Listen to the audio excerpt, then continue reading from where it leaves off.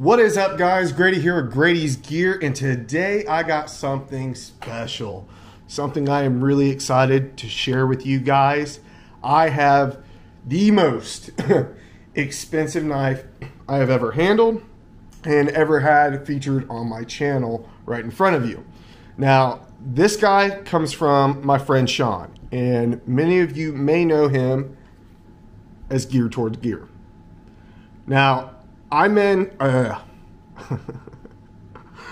I rehearsed this like twice, and I still fucked up.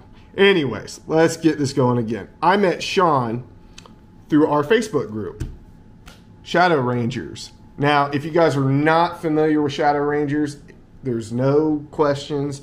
It's a group on Facebook. Um, Facebook. You don't have to ask anything to join. It's open to the public. Me and my buddy Kevin left the EDC created that group for us individuals who are into the hobby, but we don't take things so seriously. You know, um, I do this for fun. This is not my job. I, uh, you know, I'm just enjoying it, guys. I get to be myself. If I mess up or anything like that, you'll hear me just like I did two seconds ago when I messed up saying Sean's name. It's the most simplest of things ever. But I met Sean through there. A lot of YouTubers are part of that group. You know, we got, of course, we got me and Kevin. You got Kyle, DTO Knives and Gear. You got uh, Jake, Bearded Gear. Them two guys are moderators. You got JB from Big Red EDC. You got uh, Sean from Gear Towards Gear. I mean, there's so many. Scott Big Boar Williams. There's so many uh, YouTubers on there, and we all just post pictures, videos uh, you can do whatever you want on there, and we just talk about the stuff that we like to talk about. And that's how I met Sean.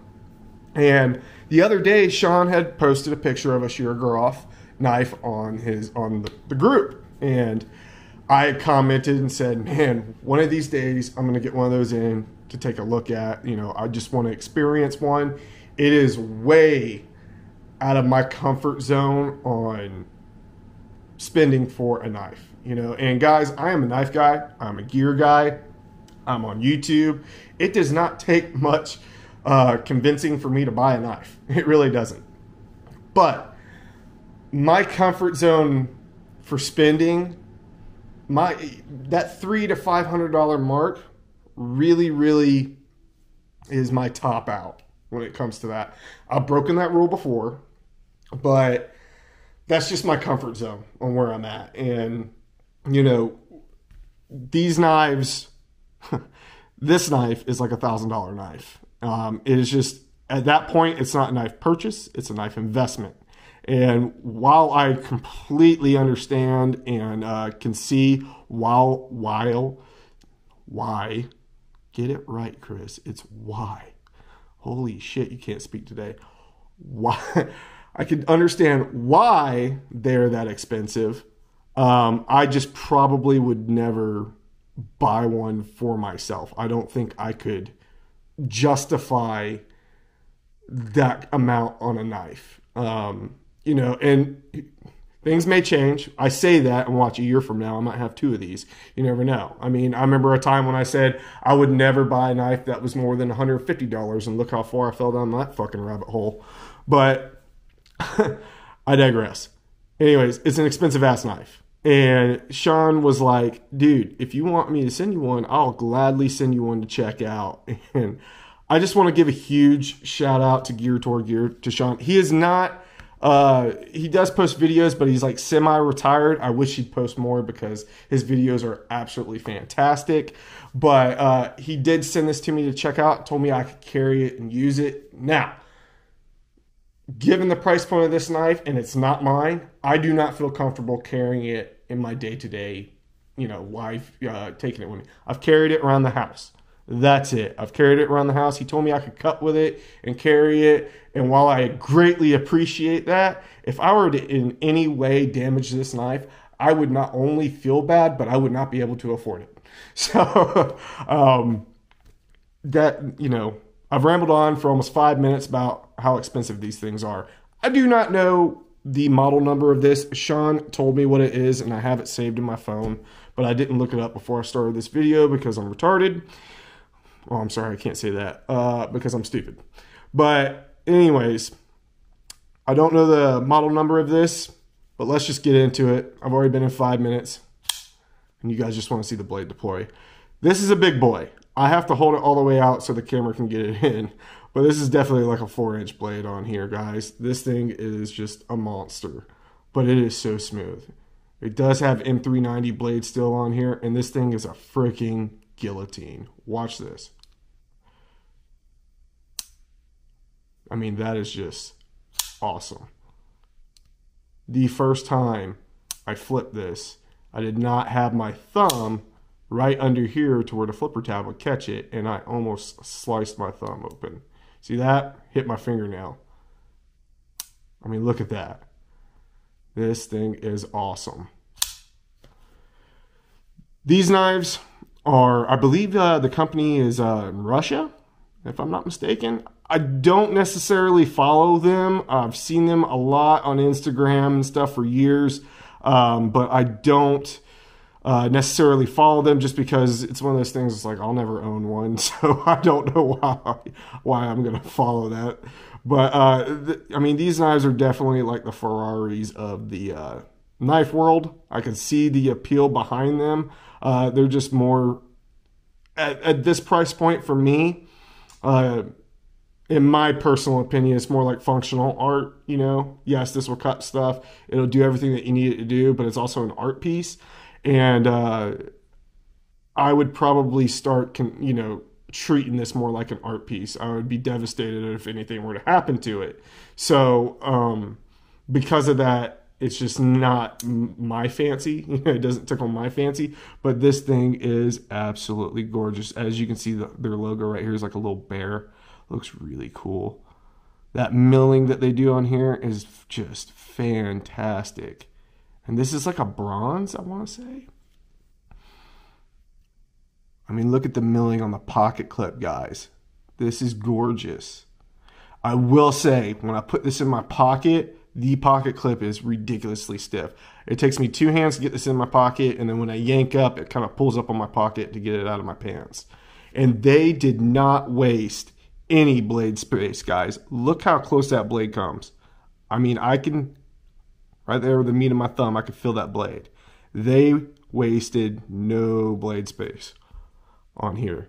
This is a full size knife and it takes up the entire handle on here. But this flipper, I mean, this thing rockets out of there, guys. I mean, just doing that, I could do that all day long. Oh, it is awesome, guys definitely if you have the money to spend on something like this go for it. Um, i mean these are uh, the quality's there. I'm not to deny it at all. The quality is there. Um, you know most of their models i think they're all like numbered or something like that because it was like f something or another. He sent me a few uh, pictures of different ones that he had and this is the one i went with. It was just the most aesthetically pleasing to me and my taste um, but uh, the weight on this, it is a chunky son of a bitch. I will say that. Um, but in the pocket, because of how slim, uh, how slimline this is, it's not that bad at all. And that blade is huge. It's more than what I would need for my EDC task. I mean, I would definitely fuck up some Amazon boxes with this thing, but it's just more than what I would need. I don't need a four inch blade. I mean, look at this in my hand.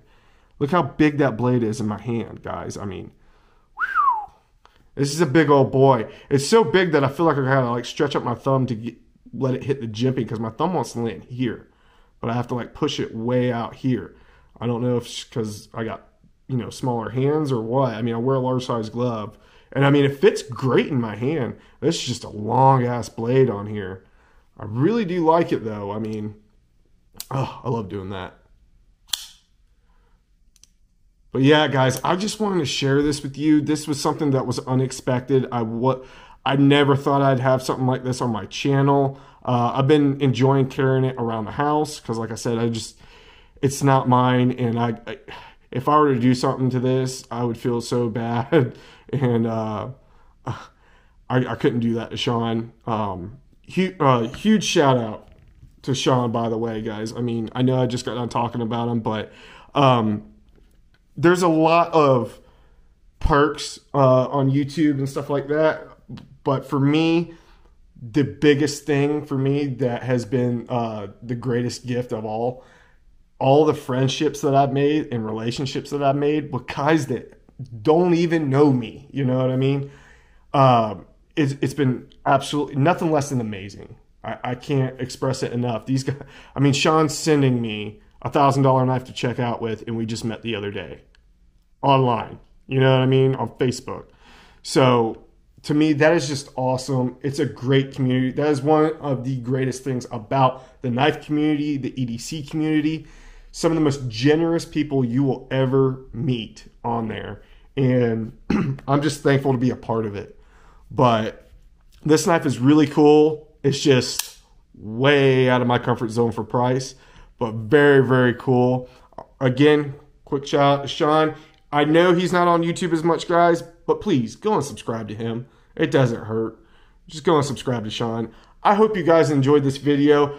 This was um, kind of a last minute thing. I was filming some other stuff today. I wasn't planning on doing this video. I know I fucked up a lot and I said the word I probably shouldn't have said on YouTube or whatever, but, uh, and I apologize for that. But, anyways, guys, I hope you enjoyed this video.